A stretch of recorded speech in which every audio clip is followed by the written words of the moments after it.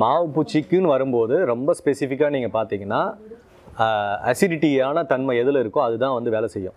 மாவு பூச்சியோடைய பயாலஜி பார்த்தீங்க அப்படின்னா அது உடம்புக்கு மேலே ஒரு மெழுகு போர்வை போத்தி தான் இருக்கும்.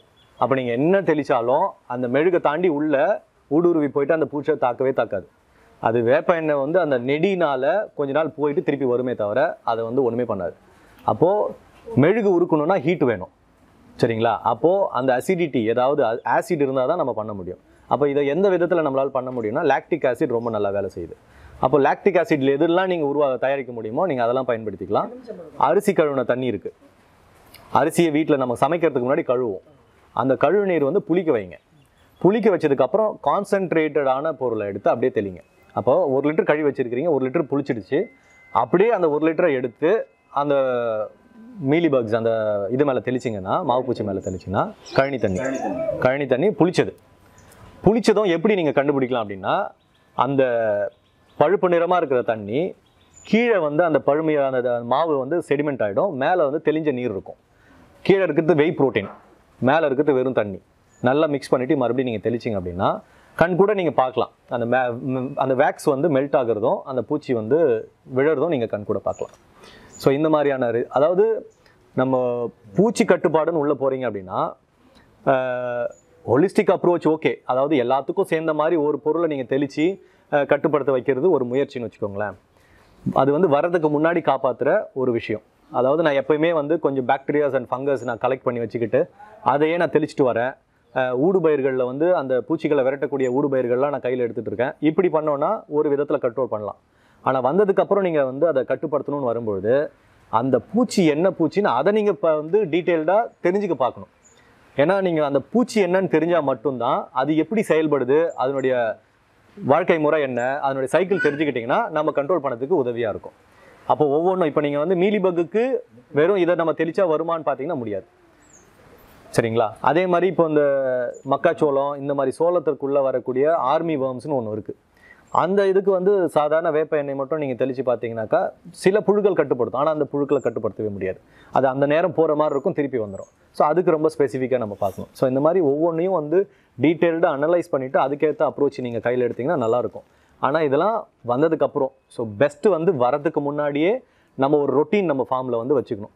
ஏழு நாளுக்கு ஒரு முறை நான் வந்து எல்லாத்துக்கும் சேர்ந்த மாதிரி ஒரு திரவத்தை வந்து தெளித்து மெயின்டைன் பண்ணிகிட்டே வந்துட்டாக்கா அந்த ஹோஸ்ட் நடக்காமல் பூச்சிகள் வந்து பரிணாம வளர்ச்சி ஏற்படுத்தாமல் கண்ட்ரோலில் வச்சுக்கிட்டே இருக்கலாம்.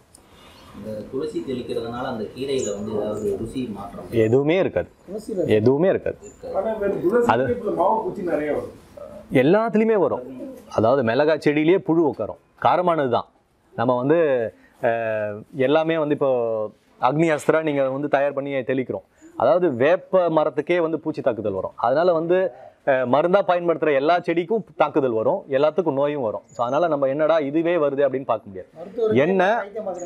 என்னன்னா இதுக்கு தாக்குற பூச்சி வேற இதுக்கு வர தா பூச்சி வேற. அப்போ இதை மாற்றி மாற்றி நம்ம வந்து தெரிஞ்சுக்கிட்டு அதுக்கேற்ற மாதிரி நம்ம செயல்பட்டோம்னா கண்ட்ரோல் பண்ணலாம். அதாவது நான் சொன்ன இந்த கழிவு நீரில் நீங்கள் பயன்படுத்துனீங்கன்னா எப்படி இப்படி ரேஷியோ அது? கான்சன்ட்ரேஷன் இப்போ ஒரு லிட்டர் கழுவின தண்ணியை அப்படியே புளிக்க வைக்கிறீங்க அப்படியே எடுத்து தெளிக்கிறீங்க. அப்போ தான் அதை ஒர்க் பண்ணும். இதனால் வந்து மரத்துக்கோ மற்ற ஜீவராசிகளுக்கு பாதிப்பு வருமானம் கிடையவே கிடையாது. அதாவது இதில் ரெண்டு விஷயம். இப்போ நான் வந்து வந்தால் என்ன பண்ணணுன்றதை பார்த்தோம். பட் ஏன் வருது அப்படின்னு பார்த்தீங்கன்னா அட டென்சிட்டி அதிகமாகவும் காற்றோட்டம் குறைவாகவும் இருக்கும்பொழுது தான் இந்த தாக்குதல் வரும். ஸோ நல்லாவே நம்ம பார்த்துக்கலாம். நீங்கள் நல்லா கவனித்து பார்த்தீங்கன்னா அந்த மழை காலம் முடிஞ்சு வெயில் ஆரம்பிக்கும் போது உடனே அந்த பூச்சி தாக்குதல் வரும். அந்த சூரிய ஒளி வந்து குறைவாக இருக்கிற காலத்துலேருந்து சூரிய ஒளி வர பருவத்தில் மட்டும்தான் வரும். அந்த அதுக்கான சூழலை நீங்கள் குறைச்சிட்டிங்க அப்படின்னா அப்போது நம்ம என்ன பண்ணோம்னா அந்த நேரத்தில் பயிர் செய்யும்போது இடைவெளி அதிகமாகவும் காற்றோட்டம் உள்ள மாதிரியும் நம்ம தோட்டத்தை வந்து நம்ம வடிவமைச்சோம் அப்படின்னா அந்த பூச்சிகள் வர்றது ரொம்ப கம்மியாயிடும். அது வந்து நீங்கள் சொல்கிறது பயிர் வைக்கிறது அந்த இதுக்கு போயிருந்தா தானே. ஏற்கனவே நிறைய கரும்பு போட்டிருக்கோம் தென்னை மரம்லாம் வச்சுருக்கோம் தென்னை மரத்தில் தான் அதிகமாக இருக்குது அப்போ போய் தென்னை மரத்தில் வெட்ட முடியாது. இல்லை இல்லை அது ரைட்டு நான் அதான் சொன்னீங்களா நீங்கள் இப்போது காய்கறிகள்னு பண்ணும்போது நான் இதை சொல்கிறேன் நீங்கள் வந்து ஆல்ரெடி வந்து ஃப்ரூட் ட்ரீஸ்லாம் வச்சுருக்கிறீங்க. ஏற்கனவே வந்து எஸ்டாப்ளிஷ்டு ஃபார்ம் அப்படின்னா நான் அதுக்காக சொல்ல வரல. ஆ இப்போ அதில் வந்து மீலி பக்ஸ் கண்டிப்பாக இருக்காது. மாவு பூச்சி இருக்காது. நீங்கள் நல்லா கவனிச்சிங்க அப்படின்னா தென்னை மரம் எடுத்துக்கிட்டிங்கன்னு வச்சுக்கோங்களேன். வாழை மரம் எடுத்துக்கிட்டிங்கன்னா இலைக்கு கீழே வெள்ளையாக தெரியும். ஆனால் அது மாவு பூச்சி இல்லை.